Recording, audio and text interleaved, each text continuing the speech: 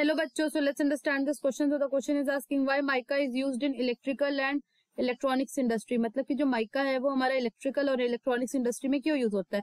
तो चलिए इसी की कंसेप्ट को समझते हैं तो उसका की कंसेप्ट होगा माइका तो माइका क्या होता है? माइका एक बहुत ही शाइनी सिलिकेट मिनरल होता है ठीक है?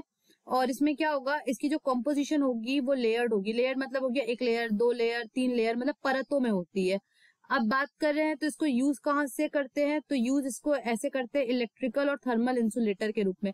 इंसुलेटर हम उन सब्सटेंसेस को बोलते हैं जो कि अपने थ्रू यहाँ पे क्या लिखा? थर्मल ठीक है? थर्मल मतलब अपने थ्रू हीट को पास नहीं होने देगा और इलेक्ट्रिकल मतलब होता है कि अपने थ्रू ये इलेक्ट्रिसिटी को पास होने नहीं देगा, ठीक है? अब इस चीज़ का रीजन क्या है कि ये इलेक्ट्रिकल और इलेक्ट्रॉनिक्स इंडस्ट्री में यूज़ होता है तो सबसे पहला है कि इसका जो डाई इलेक्ट्रिक स्ट्रेंथ होता है वो बहुत ज़्यादा होता है।